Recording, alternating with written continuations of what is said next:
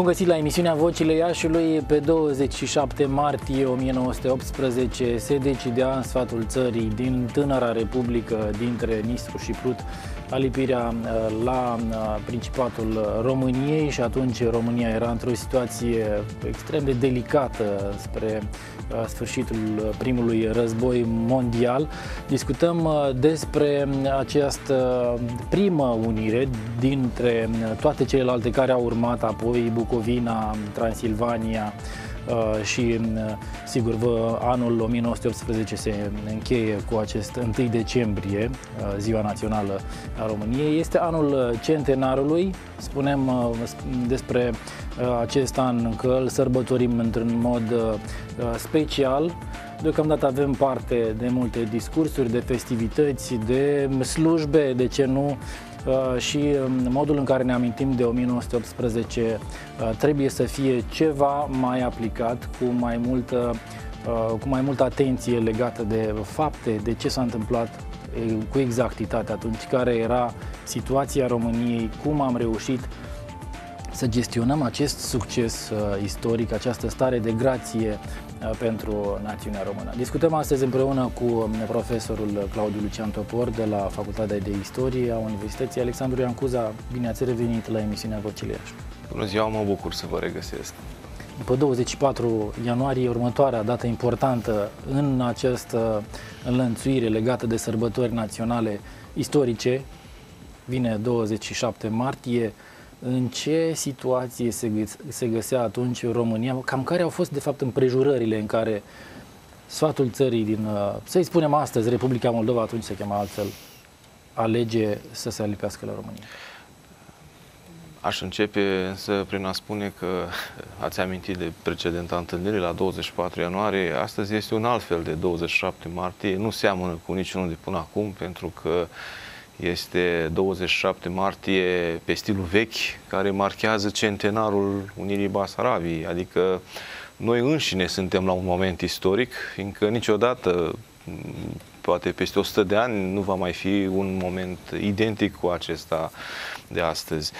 Ehm, asistăm cu alte cuvinte la istorie, la felul în care după 100 de ani generațiile viitoare, noi, generația de astăzi, rememorăm desfășurarea acestui moment, acestui eveniment. M-ați întrebat ce a fost atunci, în 1918, acum 100 de ani. Vă voi răspunde că uh, primul lucru care ar trebui să-l dezbatem cu răspundere în legătură cu această unire a Basarabiei la România, la România de atunci, care nu semăna nici cu România de astăzi și nici cu România Mare. E o altă discuție aici. Uh, această unire a Basarabiei nu a fost premeditată, nu a fost pregătită. În opinia mea, această unire a Basarabiei a surprins. Și faptul că a surprins este dovedit și pe seama unor însemnări, unor surse istorice. Iată, am să vă citez aici ce spunea mitropolitul Miron Cristea la 27 martie 1924, deci la aniversarea Unirii Basarabiei trecuseră numai șase ani atunci. Exact. Spunea el așa, constelația politică, alianțele noastre cu marile puteri, între care Rusia avea un rol important, nu îngăduiau nici cele mai prevăzătoare minți ale a diplomației, a nădăjdui că anume Basarabia va rupe cea din tâi lanțurile robiei și va cădea slobodă în brațele deschise ale iubitoarei patrii mame spunea Miron Cristian în 1924. Mai înainte, însă, consemna în memorii Constantin Argetoianu, nimeni altul decât plenipotențialul României, care semnase preliminariile păcii de la Buftea, ca desemnat fiind de guvernul Averescu. Pornisem la război, spunea el, în memorii alături de puternica împărăție rusească. Să cucerim Ardealul și iată că după un an și ceva, puternica împărăție se prăbuși, prăbușise, posibilitățile de eliberare a Ardealului deveniseră îndoielnice, iar Basarabia, la care nu ne gândisem, ne cădea, ne pica în mână, spunea Argetoian. Deci, în momentul în care vorbim despre unirea Basarabiei, trebuie să avem în vedere, cum bine ați punctat dumneavoastră, contextul internațional, contextul istoric în care s-a produs acest moment. Iar acesta ține de sfârșitul războiului, de prăbușirea frontului rusesc. Nu? După prăbușirea frontului rusesc, teritoriul Basarabiei se integrează spațiului de securitate al României chestiunea securității românești, a, a, a, a integrității teritoriale primează, și se vede asta din timpul negocierilor guvernului uh, Averescu, uh, privitoare la uh, preliminarele păcii de la Buftea, chestiunii întregirilor naționale. Discutăm despre această întregire națională într-un alt moment important al venirii la guvernare a lui Alexandru Marghiloman într-o conjunctură politică un pic schimbată și o să poate să avem ocazia să detaliem măcar un pic pe parcursul emisiunii. Deci este în mod uh, prioritar acest aspect al asigurării siguranței unui teritoriu. Nu mai conta foarte mult uh, cine uh, a avut teritoriu, nu mai conta foarte mult, conta în principal acest aspect. Chiar dacă era vorba despre frontul de est, unde armata germană era la sfârșitul războiului uh, în, uh, într-o poziție favorabilă. Încă faptul, favorabilă. Încă atunci. favorabilă, exact. Uh, faptul că în fostul Imperiul Țarist are loc Revoluția din octombrie 1917 și apoi uh, situația de insecuritate cu trupele militare face ca acest aspect să fie foarte important al uh, asigurării unei, securității unui teritoriu. Chestiunea integrității teritoriale și a securității spațiului românesc Uh, privită în, într-o logică a strategiei militare, nu pune sub semnul întrebării problematica unirii. Faptul că există identitate națională, faptul că există limbă românească, trăire românească, simțire românească de o parte și de alta a prutului. Doar că atunci, în contextul momentului 1918, deci nu din perspectiva în care vorbim noi astăzi, guvernanții României priveau situația politică în circunstanțe cu mult schimbate, decât cele la care ne potrivim noi astăzi în a ne exprima. Și lucrurile acestea țineau de uh, necesitatea încheierea unui armistițiu cu armatele puterilor centrale și mai încolo uh, nevoia de a intra în tratativele păcii, lucru care de altfel s-a și întâmplat. Pe fundalul acestor evenimente prioritare care angajau uh, Însă și statalitatea românească, ființa statului român era pusă în discuție înainte să vorbim despre uh, Unire, unirea cu Basarabia. Uh, se produce această discuție referitoare la, la Basarabia, care nu poate fi desprinsă din uh, uh, ecuația păcii, să spunem, și a războiului. Evenimentele cheie care se petrec atunci și care preocupă guvernul de la Iași. Uh, dar uh, mai spun încă o dată, înțelegerea chestiunii Basarabiei, uh, așa cum se prezintă ea la 1918, ne obligă uh, la o măcar la o scurtă întoarcere în timp, la momentul 1916 cel puțin, sau poate chiar mai înainte, uh, pentru că aduce în discuție o temă, uh, în opinia mea, controversată și astăzi.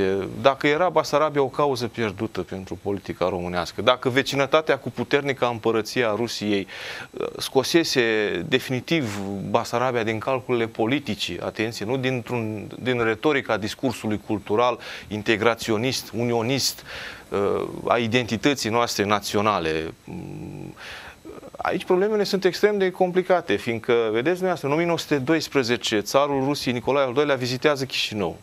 Momentul acesta uh, este privit cu oarecare îngăduință la, la București, la nivel politic mă refer. Nu este practic sancționat printr-o declarație uh,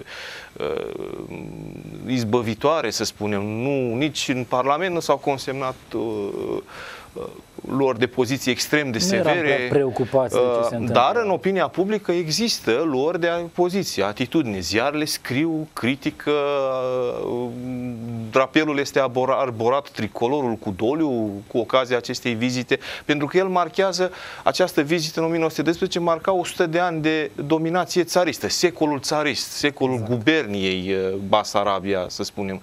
Doi ani mai târziu, țarul Nicolae al II-lea, deci la numai doi ani după vizita la Chișinău, vine și vizitează Constanța. Dacă vizita la Chișinău, în Basarabia, ar fi fost nepermisă, inacceptabilă, intolerabilă guvernului român, ar fi declanșat probabil în, prin, în țărișoara noastră o mișcare similară mișcării memorandiste în Transilvania, lucru care nu s-a întâmplat. Țarul vizitează liniștit uh, uh, România. Este o vizită de scurtă durată, se desfășoară pe de timpul unei singure zile, uh, dar este o vizită care prilejuiește nu numai întâlniri cu, la nivel înalt, cu întâlnirea cu Carol și familia regală, dar și cu unii dintre fruntașii vieții politice românești, îi prilejuiește țarului să ia act și de simpatiile opiniei publice din România. Țarul Nicolae al II-lea face baie de mulțime la Constanța, în ciuda uh, temerilor sale privitoare la un pericol atentat. A trăit mult timp cu, sub obsesia unui posibil atentat. Deci vorbim despre o, o, o atitudine conformă politic în ceea ce privește Basarabia, despre un angajament al României în 1916 care exclude Basarabia în ceea ce privește proiectul în, în, uh, întrupării naționale, să spun, al întregirii da? naționale, da? Uh, uh, acest proiect care a fost negociat politic, pentru că România când s-a decis să intre în război în 1916, s-a decis sub imperiul unui angajament politic și și-a negociat mai mult din punct de vedere politic și diplomatic decât militar prezența sa în această confruntare.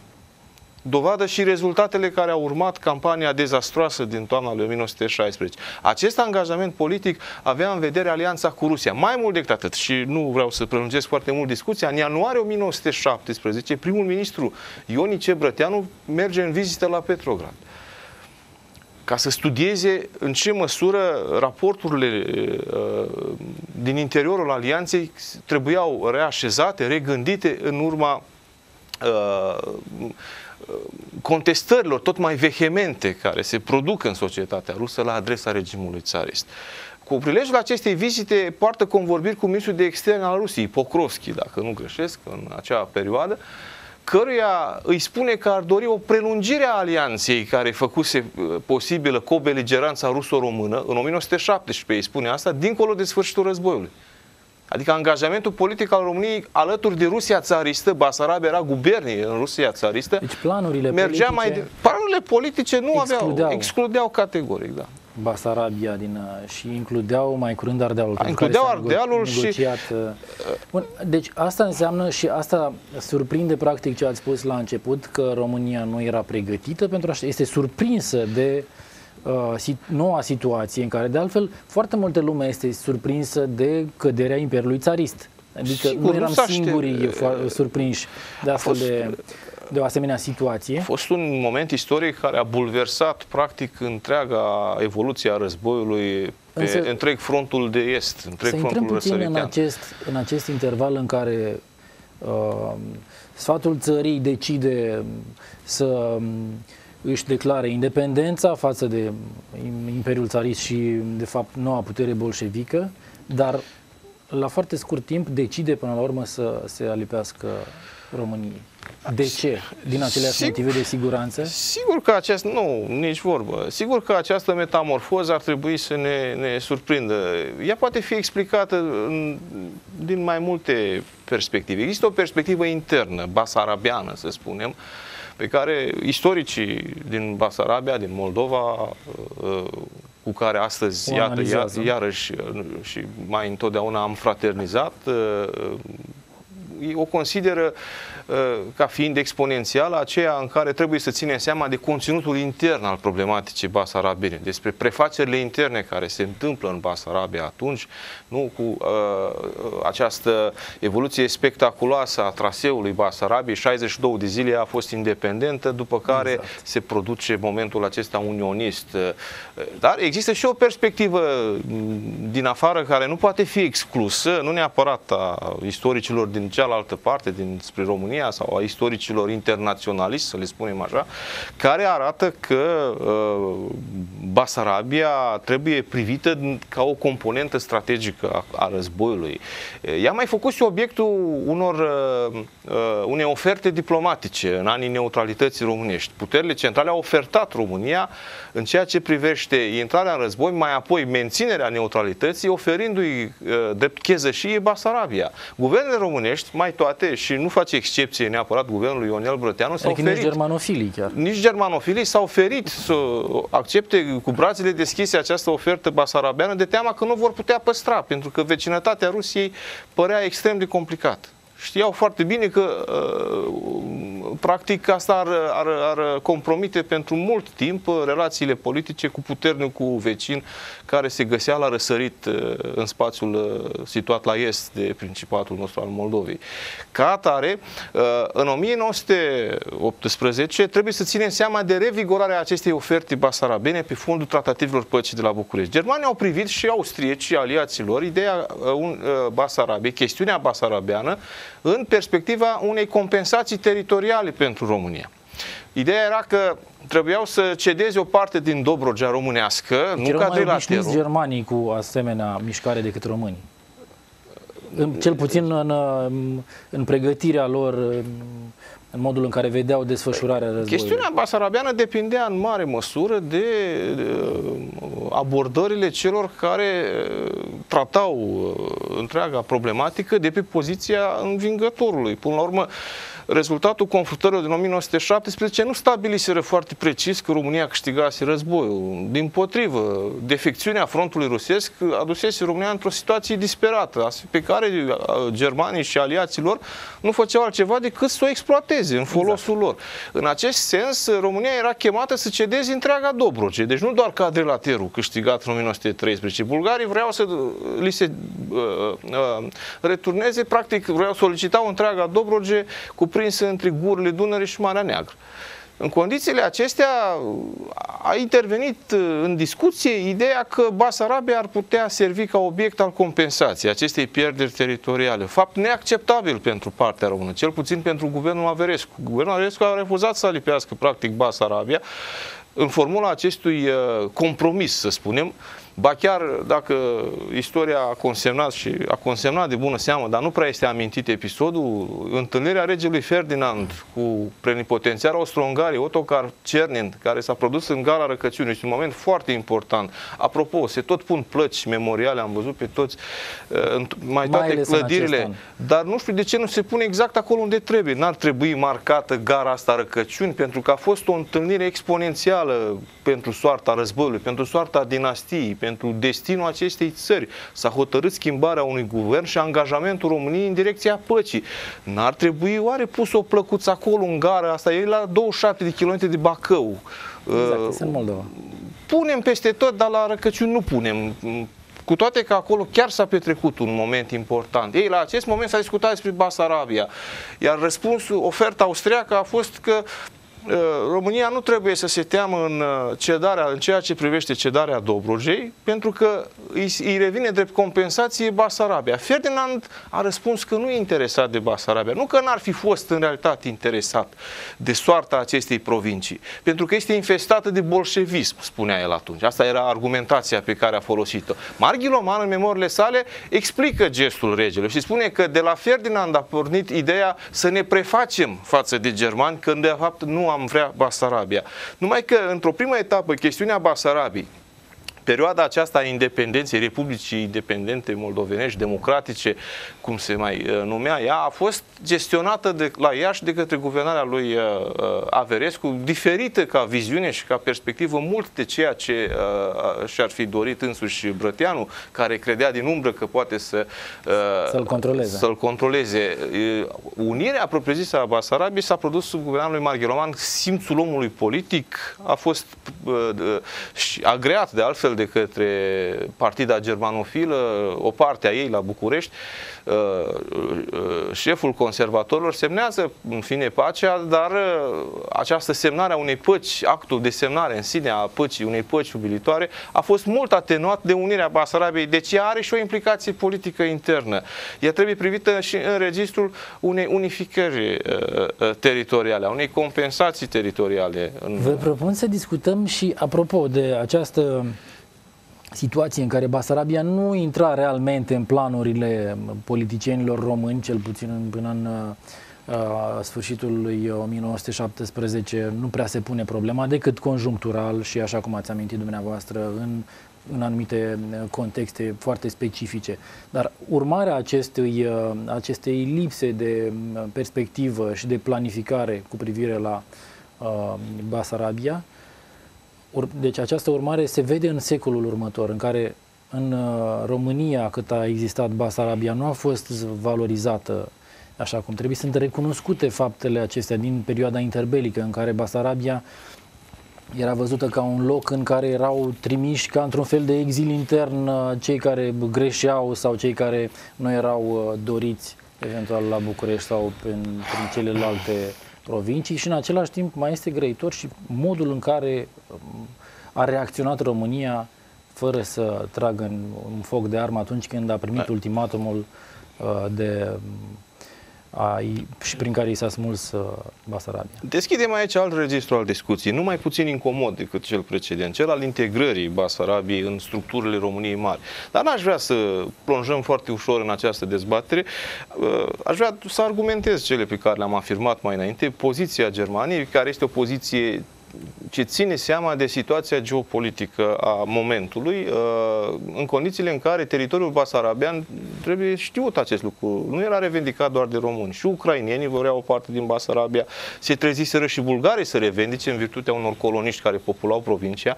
Mai trebuie spus că în Basarabia trăiau coloniști germani care nu aveau o atitudine foarte prietenoasă față de România și nici populația evrească nu era tocmai uh, prietenoasă uh, românilor. Uh, întâlnirea cu Basarabia, întâlnirea armatei, a uh, regimentelor românești care au fost trimise să asigure ordinea, securitatea în provincie datorită de bandadei create de trupele bolșevice, n-au avut parte de cea mai uh, amicală, să spunem, întotdeauna întâlnire. Mărturiile sunt uh, destul de controversate, să zicem, uh, în, în acest sens.